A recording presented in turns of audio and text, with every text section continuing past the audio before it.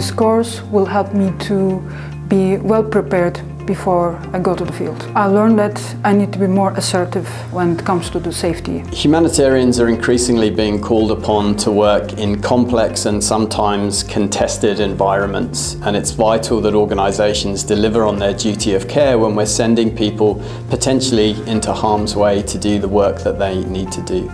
The Hostile Environment Awareness Training course helps us to prepare them to operate safely in those environments. We'll give them the opportunity to learn about risks and that they might somehow encounter in their, during their deployment in various regions of the world, understand their context and be able to de develop a sound um, situational awareness which eventually lead to a safer opera um, operating environment for them. Things can go wrong very quickly and can escalate very quickly and take a different direction.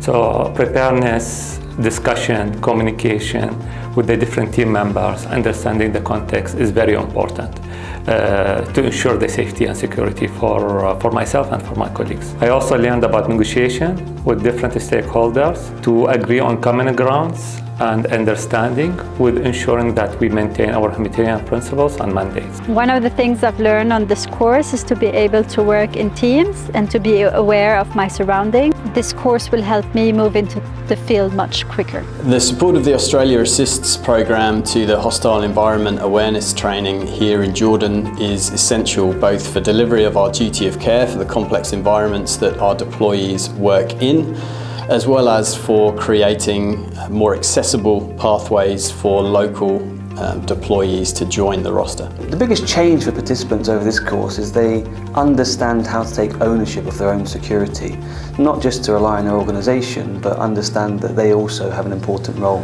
and that they really are first and foremost in making sure they're safe and secure. It's really helpful as a humanitarian worker to get the minimum knowledge and the standards of the security in the field, which is really crucial for our daily life. I'll take this motto from this course that my safety primarily is my responsibility. Someone willing to or about to deploy in a humanitarian project, they must definitely take this course. Please come and uh, join this course. There is a lot of information and a lot of practical experience that you will get benefit from.